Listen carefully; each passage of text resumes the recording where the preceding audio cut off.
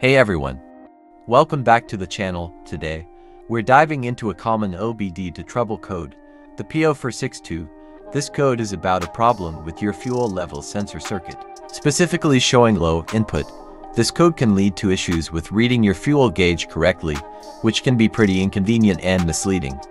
But no worries, I'll walk you through step by step on diagnosing and fixing it. What does the PO P0462 code mean? Diagnostic Trouble Code DTC P0462 stands for Fuel Level Sensor Circuit Low.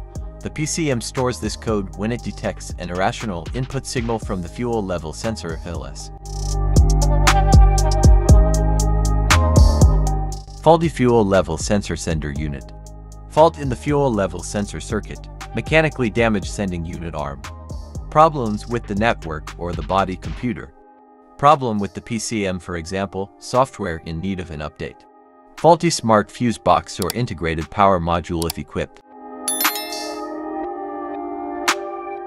Illuminated check engine light. Inaccurate fuel readings This happens when the fuel level indicated is different from the actual fuel level. Low fuel light that's on or flashing. First, grab an OBD scanner to confirm the P0462 code if you don't have one. You can pick one up or visit an auto parts store most will skin your car for free.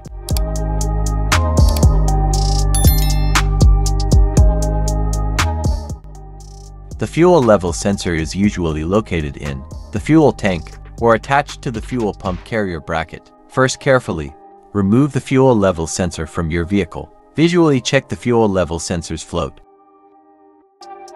Sliding contact wires, and electrical connections for any damages. Use a multimeter to proceed a resistance test on the fuel level sensor. The resistance reading should be different between when empty and when full. Check your owner's manual for the standard range. If your reading doesn't match the owner's manual, then the fuel level sensor should be replaced. After replacing the sensor or fixing any wiring issues, go ahead and clear the code using the OBD2 scanner. Start the car and let it idle, watching for any return of the check engine light. And that's it, you've successfully fixed the P0462 code. Remember, it's always a good idea to address issues like these early to prevent any potential breakdowns on the road. If you found this video helpful, give it a thumbs up, subscribe for more car repair tips, and let us know in the comments what you'd like us to cover next. Thanks for watching.